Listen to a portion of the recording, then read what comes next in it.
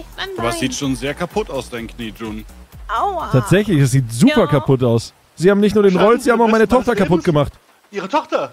Ja, ich bin jetzt mein ganzes Leben lang richtig beschädigt wegen ihm.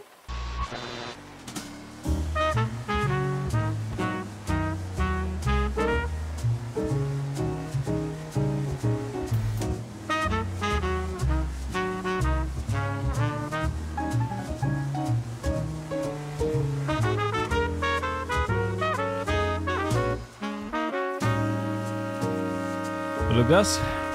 Ryan, amigo. Ich habe wirklich nicht mit dir gerechnet. Guck mal, hier scheint es auch voranzugehen, ne? Nee, aber kannst du. Die ganzen Materialien war doch beim letzten Mal noch nicht da. Wichtigere Frage. Wenn Ich dein, alles genauso machen. wenn du dein Leben noch einmal leben könntest. Beginnt das immer mit derselben Floskel? Scheiß drauf, ich rauche eine. Weswegen ich mit dir reden wollte, ne? Hm. Das ist eigentlich ein ziemlich kurzes Ding. So wie dein. P- Okay, erzähl. Hm, Auf die Technik kommt's an, amigo. Verstehe. Was soll ich machen? Ich bin Kolumbianer, wir haben halt nicht so die Riesendinger. Erzähl mir von deinem kurzen Ding. Ich überlege gerade, ob ich, äh, pass auf folgendes. Ich wollte dich einfach nur fragen, ähm, um, damit wir ein bisschen Cashflow reinkriegen, hatte ich überlegt, ob ich irgendwie eine Karre verlose. Und ich wollte dich fragen, ob ich die irgendwie mit dem Casino ins Geschäft scheißen würde, wenn ich eine Verlosung mache. Ja. Deswegen lassen wir das nicht so. Wirklich jetzt? Ja. Scheiße. Hat ein bisschen Kohle gebracht. Ich habe eine andere Geschäftsidee, für die ich dich gerne ins Boot holen würde. Okay. Schieß los. Äh, Du weißt, ich bin immer offen für Geschäfte. du bist ja auch nicht alleine. Du hast ja ein paar Leute hinter dir auch. Sagen wir mal so, ich bin vernünftig am Aufbauen, ne? Und wir brauchen. Eine gute Handvoll. Also, ich hätte eine Geschäftsidee, die darauf angewiesen ist, dass andere Leute viele Leute haben. Das Geschäft funktioniert folgendermaßen. Du rufst jemanden an, Mhm. unterdrückt. Mhm. Zumindest solange er noch nicht ausgeschalten hat, das unterdrückte Rufen und man ihn anrufen kann. Mhm. Sobald er rangeht, gehst allerdings nicht du dran, sondern eine computergenerierte Stimme geht ran und sagt: Guten Tag, dies ist ein computergenerierter Anruf. Dieser Anruf kostet Sie 10.000 Dollar. Überweisen Sie die 10.000 Dollar auf die Kontonummer 0190119 und so weiter. Sollten Sie sich dieser Überweisung widersetzen, werden wir nicht aufhören, Sie anzurufen. Und dann wird derjenige nicht bezahlen, weil also warum sollte er das machen? Er wird das für einen Scam-Anruf äh, halten. Aber dann kommt der nächste Anruf. Und der nächste Anruf und der nächste Anruf und irgendwann schaltet er unterdrückte Nummern ab. Deswegen brauchen wir möglichst viele, viele Leute, alle mit dem gleichen Audiofile. Und dann wird er den ganzen Tag, von morgens bis abends, bis in die Nacht, SMS und so, er wird die ganze Zeit bombardiert, bis er die 10.000 Dollar bezahlt. Und dann lassen wir ihn in Ruhe. Und dann nehmen wir den nächsten. Beziehungsweise wir können das direkt bei 20, 30 Leuten parallel machen. Das heißt, damit die? Leute wieder ihre Telefone benutzen können, müssen sie jeder 10.000 Dollar auf ein nicht auf uns zurückverfolgbares Konto überweisen. Ja, oder sie schieben einfach den Regler auf unbekannte Anrufe abweisen und haben Ruhe. Und dann rufen wir halt nicht mehr unbekannt an. Ich meine, wir haben ja so viele Leute. Weiß ich nicht. Hi. Meine Frau wurde entführt. Schick bitte alle Leute, die du auftreiben kannst, auf die Suche nach meiner Frau. Wenn ihr die Entführer habt, knebelt sie, fesselt sie, hängt sie kopfüber irgendwo auf und wartet, bis ich da bin. Wo wurde sie eingepackt? Bitte Weiß was? ich nicht. Das letzte Mal ist, äh, ist sie am Casino gewesen, dachte ich zumindest. Okay. Schaut Ja, euch da um, guckt, dass du bitte alles auftreibst, was du auftreiben kannst. Kriegen wir hin, ja. Super, danke. Scheiße, Amigo, was? Deine Frau wurde entführt? Ja, augenscheinlich. Ähm, Möchte dir auf der Suche helfen? Hallo? ja, Rickard Butters, meine Frau wurde entführt. Letzter Standort Casino. Guck mal bitte, ob ihr die findet und treib alles auf. Solltest du den Führer sehen, häng die bitte kopfüber irgendwo auf und warte auf mich. Mach ich, mach ich. Okay, ich rufe sofort alles zusammen, was ich habe. Alles klar, danke. Äh, Cash Amigo, die Frau von Ryan wurde entführt. Ungefähr 1,81 äh, 81 groß, rote Haare hinten zusammengebunden oder sowas. Ähm, sagt den anderen Jungs Bescheid? Nee, keine Ahnung. Okay, wenn ihr was seht, äh, wenn ihr sie irgendwo seht, äh, melde dich direkt bei mir. Okay, gracias. Vielleicht noch 10 Minuten, Viertelstunde. Ich melde mich aber auf jeden Fall. Ja, und ich habt ihr Probleme mit jemandem, Ryan? Mhm. Hallöchen. Und wo Ja, wurde sie das letzte Mal gesehen? Ja, Schöne hilf Grüße mir. von Okoye. Äh, danke, Schöne hilf mir Grüße mal von bitte gerade. Meine Frau wurde entführt. Letzte äh, Sichtung Casino. Äh, mit was? Äh, letzte Sichtung. Mit Casino. was der entführt wurde oder irgendwas, weiß ich nicht. Aber Alles die ist klar. wohl Okay, zu, klar. zuletzt am Ich Casino gewesen. Trommel mal bitte alles zusammen. Äh, Ich will die Ja, Leute okay, hängen okay, okay, sehen, die der. Meinung sind, meine Frau muss zu mir mal entführen. dann ganz kurz unter die Arme greifen. Alles Mr. Batters, ich grüße Sie. Hilf mir mal, trommel deine Leute zusammen. Meine Frau ist entführt worden. Letzter äh, Standort Casino. Äh, ich will denjenigen hängen sehen, der sich das Ganze rausgenommen hat. Alles klar, ich bin, wir sind unterwegs. Danke. Lass mal zum Casino fahren, wir reden später weiter. Ja, ja, sie.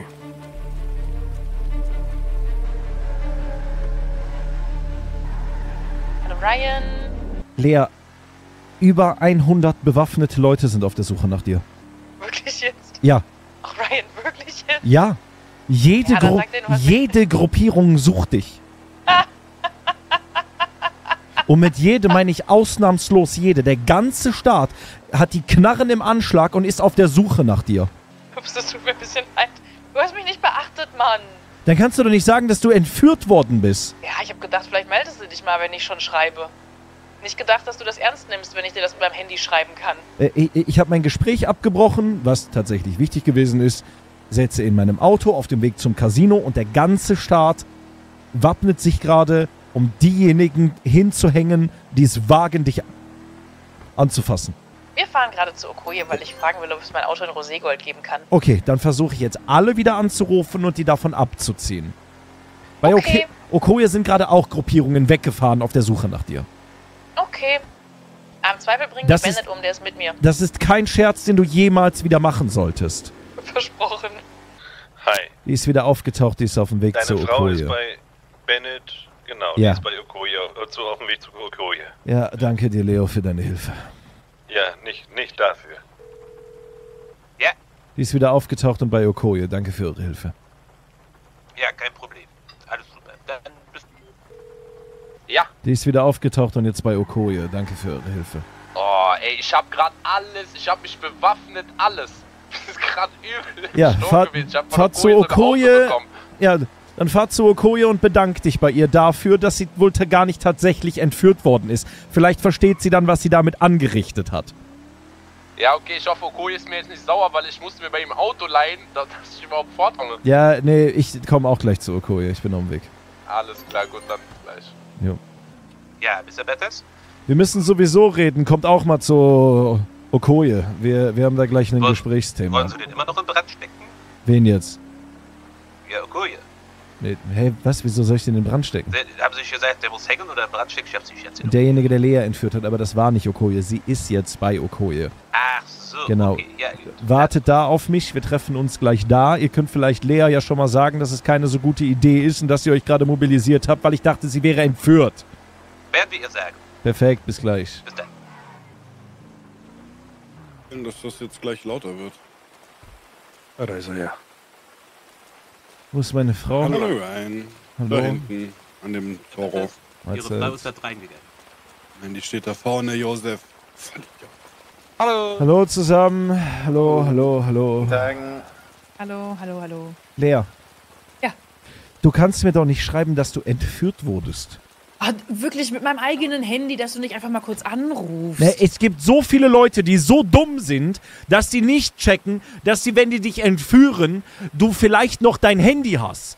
Zumal, wenn jemand am Casino entführt wird, es auch wirklich schnell gehen muss und du vielleicht auf der Rückbank gerade sitzt und die wirklich nicht daran gedacht haben, weil denen gerade die Beine flattern. Warum kamst du nicht auf die Idee, einfach mal kurz durchzuschreiben? Ich habe dir geschrieben, warum du schreiben kannst. Du schriebst, weil du ein Fuchs bist. Das hast du mir 20 Minuten später geschrieben. Weil ich den ganzen Staat angerufen habe, dass wir jetzt denjenigen hängen und umbringen werden, der es dann gewagt du hat, dich 20 anzufassen. Minuten mal investiert und dich mal bei mir zu melden, nachdem du mich komplett ignoriert hast, hätte sich das ja aufgeklärt. Hier kommen jetzt nach und nach immer mehr Leute an, mit denen wir uns hier treffen, weil du gesagt hast, dass du entführt worden bist. Ja, Du hast doch aufgeklärt, Ryan. Hier ist jetzt gleich eine Riesenparty. Oh, das ist doch nice. Oben steht Champagner. Könntest du mir bitte nie wieder schreiben, dass du entführt worden bist, außer du bist entführt? Deal. Danke. Hallo. Hallo. Wunderschön. Was geht Familie? Was jeder? Bei jeder Äh, Cousin. Warte mal, Großcousin? Großcousin. Cousin. könnt ihr Lea Geht, vielleicht einmal ganz kurz da drüben erzählen, warum es keine gute Idee ist, zu sagen, dass sie entführt worden wäre? Ja, ist kein Problem. Das, das wäre das wär super, ja. Also, ja. Ah, el Presidente. Hallöchen, Hallöchen. Lea, Ja. tu mir einen Gefallen, mach das nie wieder. Oh, wirklich jetzt. Ja, wirklich jetzt. Ich habe gerade da ich, dadurch ja, nicht nur meine Leute, also nicht nur meine Leute waren in absoluter Alarmbereitschaft, sondern auch sämtliche Gangs in diesem Staat. Ja. Wir hätten wahrscheinlich gerade den kompletten Staat fast auseinandergenommen, nur um nach dir zu suchen und dich zu finden. Wir haben so ziemlich jedes Auto angehalten, wir haben so ziemlich jede, jede Tür Nein, geöffnet, warum bist du immer so.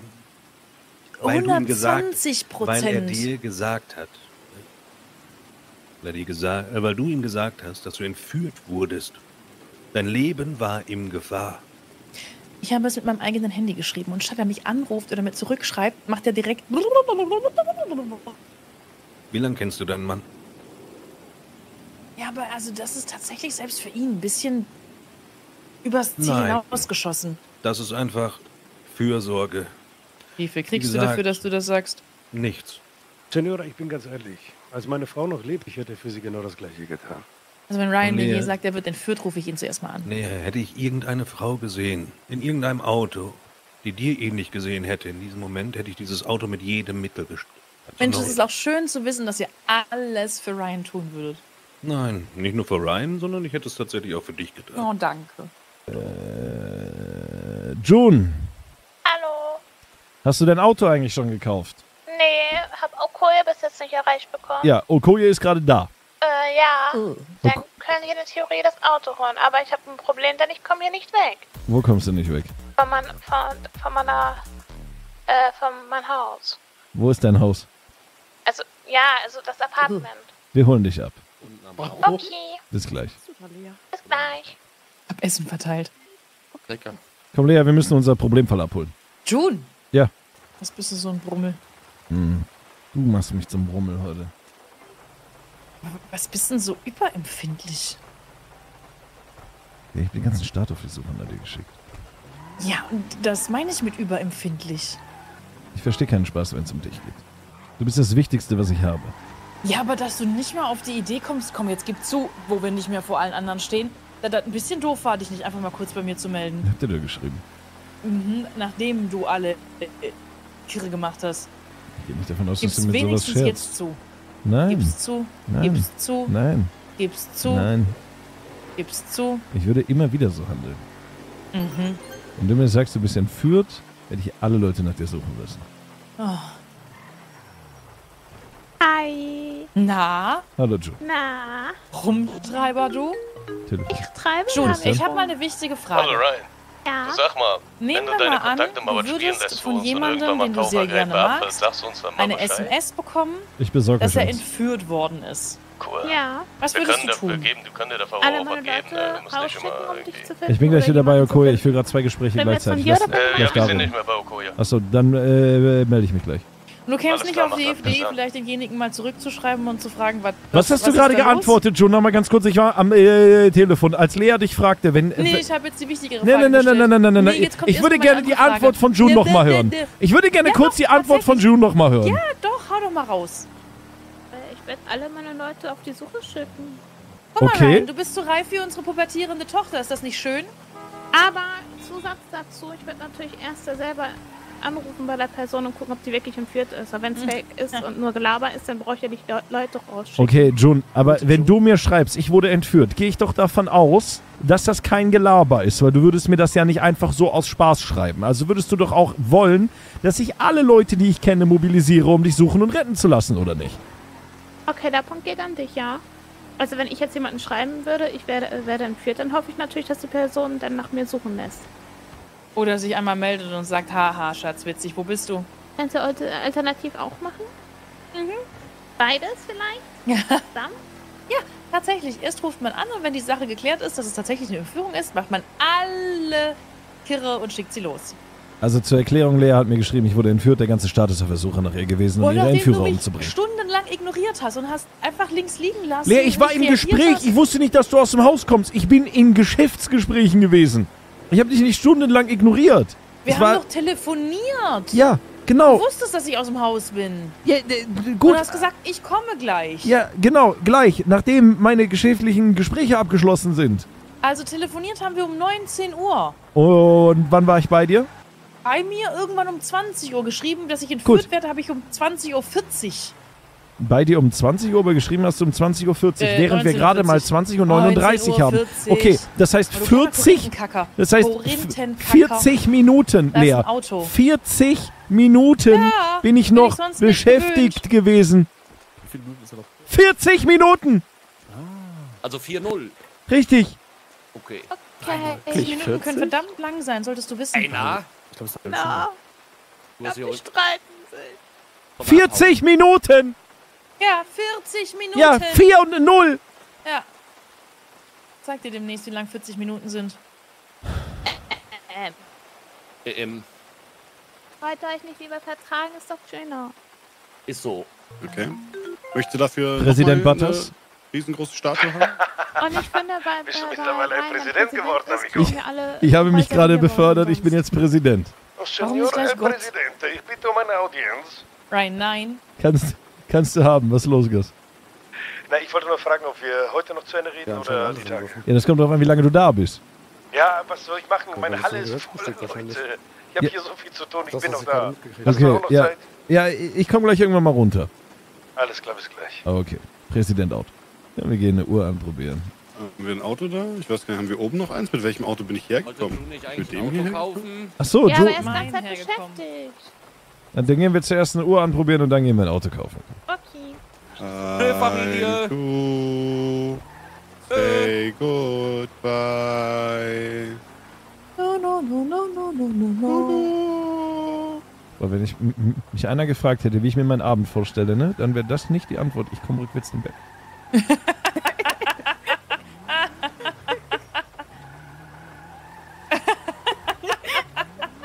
Soll ich schieben? Ryan, hättest du jetzt mal ein SUV, ne? Ich wette, meiner kann das.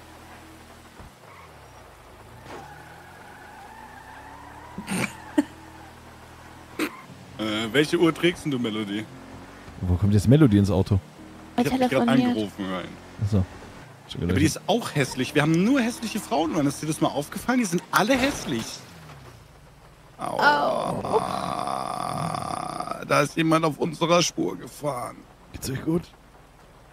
Ja. Aua. Nein, hier ist jemand. Wir kümmern Marina, uns ist in Ordnung? schon. Warum fahren Sie auf unserer Spur? Okay. Hast du keine Augen im Kopf oder was? Entschuldigung, Ja, wenn das Ihre klar, Spur du- war, dann äh, entschuldige ich mich vielmals dafür. Berührt diese Spur das Licht? Aktuell von der, zumindest von der Laterne. Dann ist es unsere Straße. Hab ich mir einen Nerv eingeklemmt? Ich klemme immer Nerv ein bei sowas. Nee. Ah, komm, geht schon ran, Leute. ah, geht. Hier ist alles im Arsch! Das wird so teuer. Die ganze Karre vorne ist im Arsch! Boah. Halbe Million Schaden. Zwei Was? Millionen Euro. Das sind zwei Millionen Schaden. Okay, der sieht auch ziemlich teuer aus, tatsächlich. Wie ist Ihr Name? Äh, Cooper, Samuel, schönen guten Abend. Herr Cooper, das ist komplett im Arsch, Ja, ich kann es sehen. weil Sie mit Vollkaracho hier reingeballert sind. Vor allem bei den Medics geht keiner ran. Okay, verdammte Scheiße. Das Auto braucht auch keinen Mediziner. Mir geht das den Umständen entsprechend. Das Auto braucht einen Repariermensch. Dann versuche ich mal gerade einen Repariermensch an Land zu ziehen. Moment, entschuldigen Sie mich gerade. Ich halte einfach meinen Arm ein bisschen, das passt schon. Ja, super, ATL ist im Feierabend. Wo ist deine Schiene, June? Ich wurde operiert. W wann das denn? Vor zwei Tagen. Bist du dir sicher, dass nach dem Unfall dein Bein nicht wieder kaputt ist? Ich hoffe nicht, mir tut nur mein scheiß Arm weh. Ich bin Aber es sieht schon sehr kaputt aus, dein Knie, June. Aua. Tatsächlich, es sieht super Ja. kaputt aus. Sie haben nicht nur den Rolls, sie haben auch meine Tochter kaputt gemacht. Ihre Tochter? Ja, ich bin jetzt mein ganzes Leben lang richtig beschädigt wegen ihn. Oh Mann. Was da? Ist da. Also, Geist. Da haben sie den Gurt. äh, Ich bin. Hilfe. Also, sie haben sich bei dem Unfall tatsächlich so sehr verletzt, dass sie glauben, ihr restliches Leben. Oh, verdammt.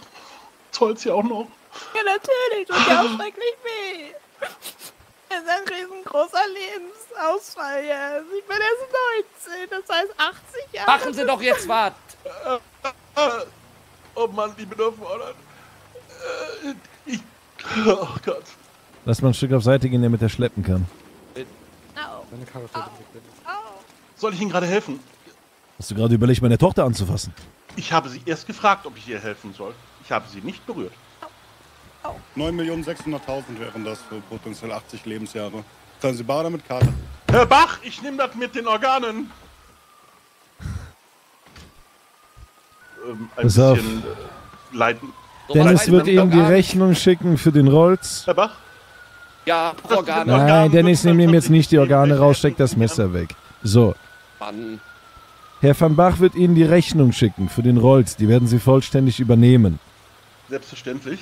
Dann lassen Sie sich von June jetzt gleich eine Karte geben und dann haben Sie beim nächsten Mal, wenn Sie sie sehen, eine Entschuldigung dabei. Schokolade, Blumen, am besten beides. Selbstverständlich. Und dann ist die Sache aus der Welt. Ich beim nächsten Mal, wenn Sie sehen, dass Ihnen ein Rolls entgegenkommt, dann bremsen Sie rechtzeitig und weichen auf den Fußgängerweg aus. Selbstverständlich. Genau das werde ich so tun. Sollten dort du Leute stehen, egal. Nein, genau deswegen warte ich noch. Natürlich, Leute dann egal, Rolls ist wichtiger. Korrekt. Gut, perfekt. Wir sind doch mal weiter. Ich, ich, alles Gute, schöne, gute Besserung. like a real love, but it goes so.